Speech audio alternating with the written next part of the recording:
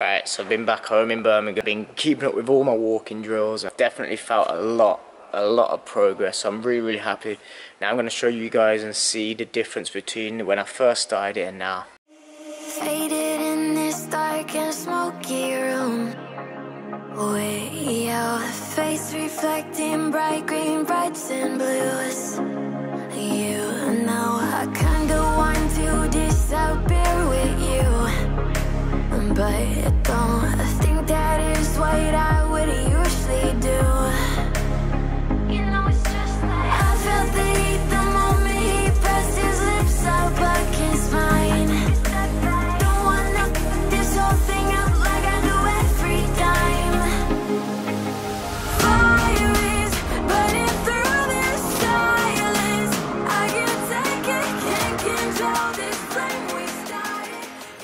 as you can see, it's massively improved.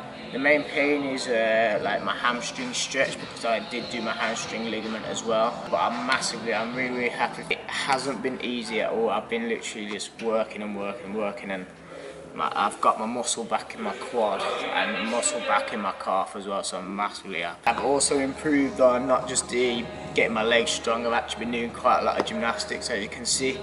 I've really stepped up my game with doing lots of new stuff, testing what hurts and what doesn't hurt because the main thing is gymnastics. I've been doing loads of rings, loads of pommel, uh, high bar, I've been doing some releases. The only thing I'm avoiding in my gymnastics, is what I found is like the um, let's say the fold at the bottom, so like a Stalder or an under somebody. Other than that, it's been pretty good. Really happy, and I'm looking forward to getting into some landing sort of situations. I'll show you some of my gymnastics that I've been doing. I got a bit of gymnastics to do today, so let's see what we can get up to.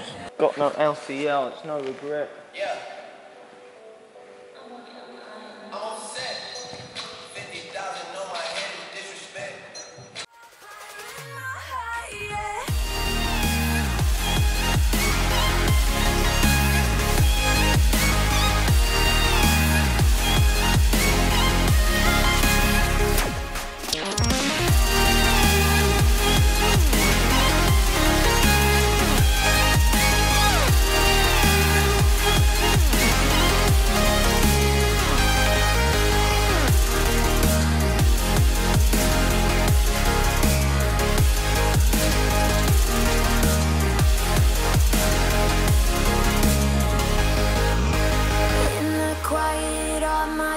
My run free. So I drown them out at night with my TV. You know I got to try to ignore these thoughts that go back and forth. I hope you've enjoyed seeing the progress from the first day of walking to now. I've improved massively. It's almost like normal.